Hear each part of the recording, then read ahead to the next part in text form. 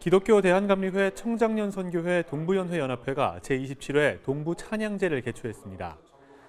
이번 찬양제엔 원주제일교회, 강릉중앙교회, 춘천신성교회 등 8개 교회 찬양대가 무대에 올랐습니다. 함께 해주신 모든 분들이 이 찬양제를 통해서 위로와 격려를 받기 소망합니다.